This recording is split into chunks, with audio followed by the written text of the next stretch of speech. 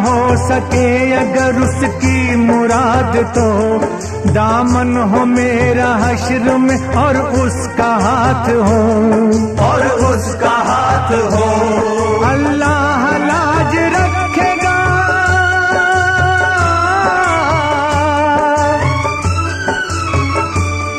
अल्लाह लाज रखेगा मेरे मकान